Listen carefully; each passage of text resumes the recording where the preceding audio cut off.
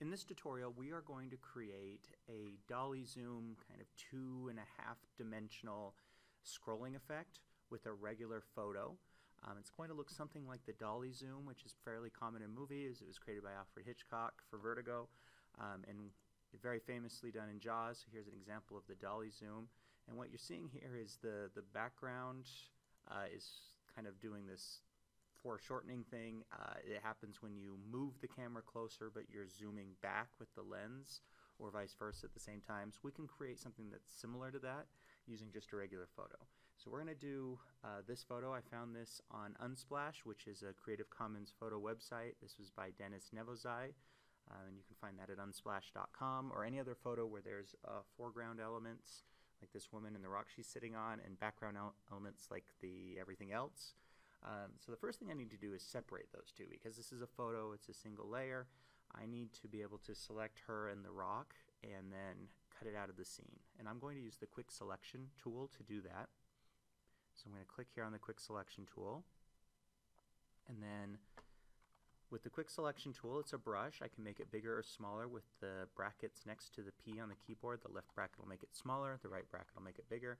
And I usually go about a third to a half the size of the thing I'm trying to cover or to select, and then I just start in the middle because the quick selection tool will attempt to find the edges of color as I'm going. And I'm going to paint now, and you'll see that what it paints is a selection area. Um, I can now kind of start moving over. I don't want to go over the edge of the things I don't want, but you can see that it's trying to find the edge for me. And it's not perfect, so I'll have to come in and get some extra detail. Um,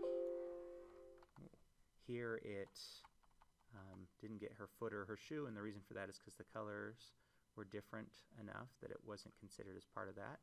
Um,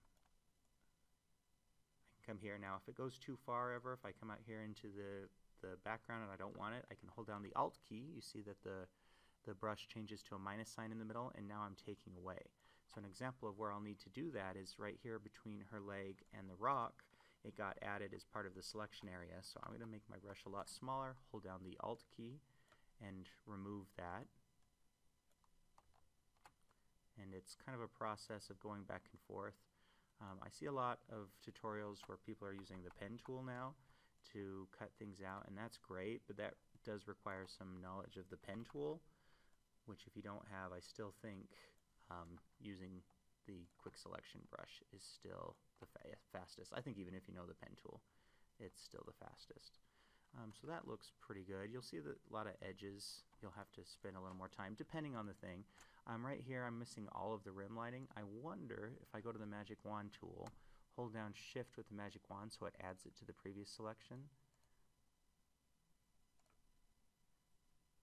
It did an okay job, not great. I'll go back to the quick selection. And if I don't get the edges perfectly, that's okay because I'm going to feather the edges as well, which means it's going to um, just slightly fade out at the edge. So it'll grab a couple of extra pixels, um, but then fade them slightly too, which creates uh, almost like an anti-aliasing effect where it just looks nicer. And also because the background's going to be pretty similar too. Uh, normally I'd go in and maybe spend some extra time on her hair, but I don't think I'm going to do that in this case. Um, I'd probably grab whatever this is, some kind of tag or something. But the quick selection tool, it, it kind of depends on your situation. Sometimes it'll pick things up even faster, but the background is a pretty similar color to everything else here, and we've got this rim lighting uh, that looks really nice, and it helps the foreground to stand out of the background, but sometimes that can confuse it. Uh, so now I have her cut out. I'm going to go ahead and press Control X because I want to cut her out of the scene. That puts um, everything inside of that selection area into the clipboard, which means now if I press Control V, um, it will paste it back in on a new layer. And now with the move tool, which I got to by pressing V, I can move it to wherever I want. The problem is, if I turn the visibility off on that top layer, it left behind a hole. Uh, especially with the background layer, background layers can't be empty, so it's going to fill it in with something. And in this case, it filled it in with my background color, which is the default. My background color in this case was white. Yours might be different, and it might have filled it in with a different color. But I think if I use the uh, content aware fill, it should be a pretty easy fix. In this case, I'm going to go to the lasso now, and I'm going to lasso kind of close to the edge. I can't even really see around her head. I'm going to lasso all the way around, and when I let go, it'll close off that lasso. And when I hit delete, because, oh, got to make sure I'm on my background layer, so I have to click down here. When I hit delete, because it's a background layer and it can't be empty, it should give me the option of what I want to fill it with. Um, this only happens when I hit delete. It only will pull up this fill option if I'm on the background layer. Normally, if I'm on a regular layer, it will just uh, delete it and create a hole there, an uh, transparent hole.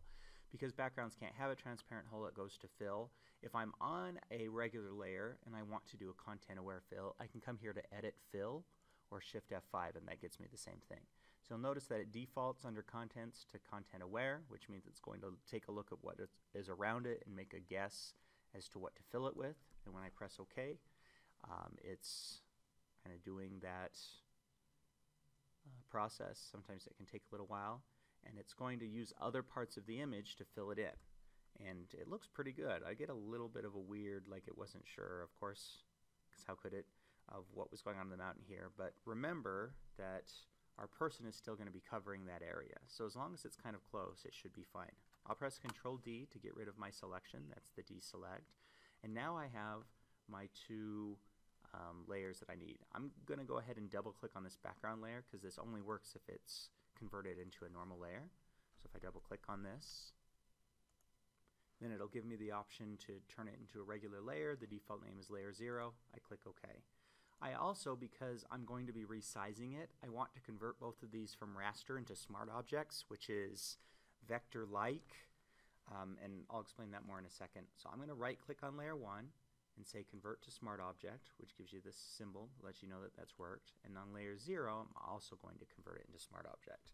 Now I'm ready to do some video. Uh, the fastest way to get to that, I think, is to come here to Window and select your timeline which will give you your timeline options down here, and I can click on Create Video Timeline. Now I have five seconds, which is the uh, regular still image length. I can always stretch it out longer or make it shorter. Either way, um, because it's a, they're both still images, I can make them longer or shorter. Five seconds should be great. Now, because I converted them into smart objects, if I click on this little twirly triangle here, um, normally it would be position here, but I have three things that I can animate on this smart object. I can animate its transformation, its opacity, and its style. In this case, I want to do transfer, uh, transformation. I want to do transform. And if I click this stopwatch here, it will set a keyframe on my very first frame, which is where my timeline indicator was at the time. I only have to click that stopwatch once. Now the animation is going to be an automatic thing. And to have an animation or to have this change, I have to have two different keyframes that look different. In this case, I'm going to start with her kind of um, right at that position will be great. I'm going to slide my timeline indicator to the end, and I don't have to press the stopwatch again. It's ready. As soon as I make a change, it will automatically save that as a keyframe. What I'm going to do is hold down Control T to get my transform. And now I can grab a corner, hold down Shift, make her larger. Maybe I'll do like that. Might be a really big change, so it might go really quickly. And when I hit enter, that transformation has now been recorded. And if I slide my timeline, you can see that it is getting larger, which is going to give the appearance of us moving closer to her even though that's not what's really happening. Now to really cement the effect, I'm going to do the same thing to this bottom layer. Now because I made her larger, I'm going to do the opposite with the background.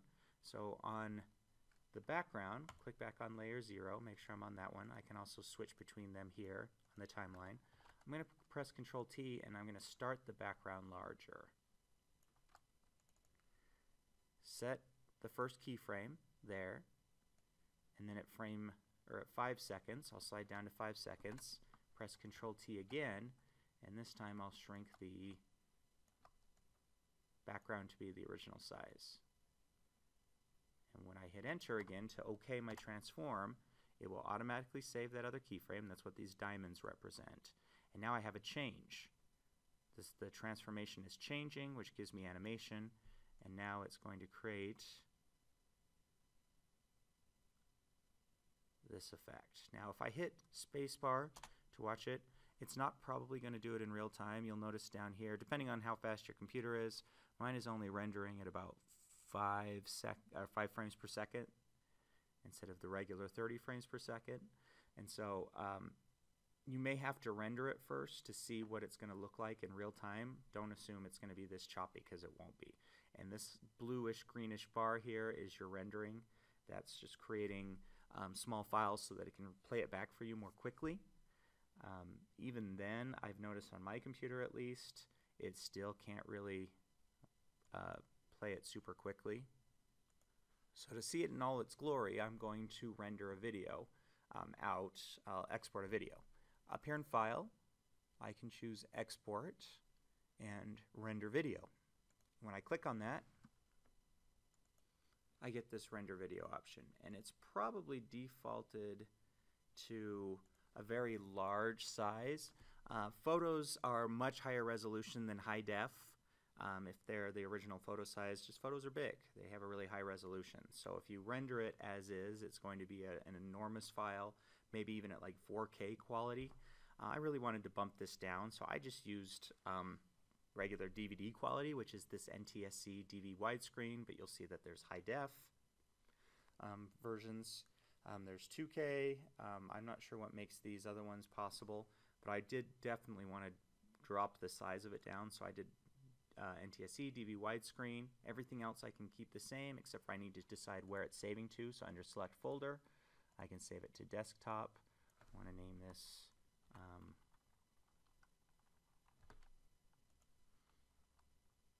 like Dolly Zoom or something, and it'll be an MP4 uh, file by um, defaults.